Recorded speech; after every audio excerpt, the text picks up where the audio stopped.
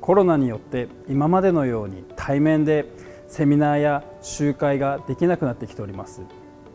そのためオンラインで映像を活用してコミュニケーションをとるこういったシーンが増えてきております。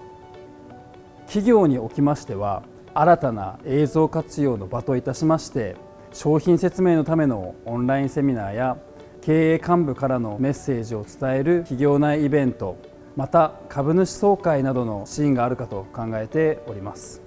このようなオンラインでの映像を活用したコミュニケーションを実施する場は急増しておりますが映像制作配信のクオリティの担保や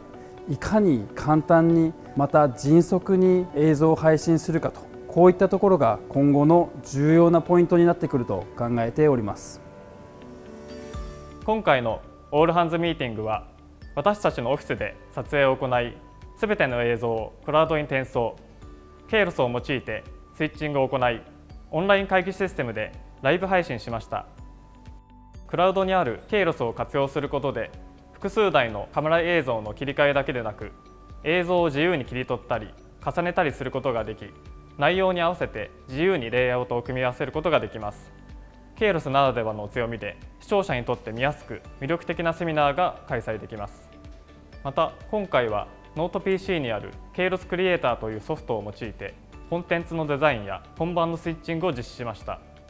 一般的なノート PC ですので急なイベントにも柔軟に対応できます。またゲーム画面のようなユーザーインターフェースは直感的で操作しやすいです。そして誰にとっても分かりやすく見やすいオールハンズミーティングを作るため今回はライブ字幕制作システムを使用しました。このシステムを使うことでリアルタイムに文字起こしを行うことが可能になりました。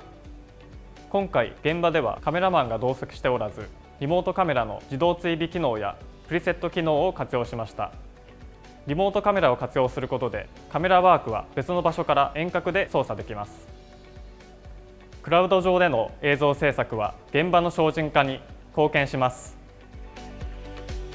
今回もケイロスを軸としたクラウド映像制作ソリューションを用いてオールハンズミーティングのライブ配信を実施いたしました。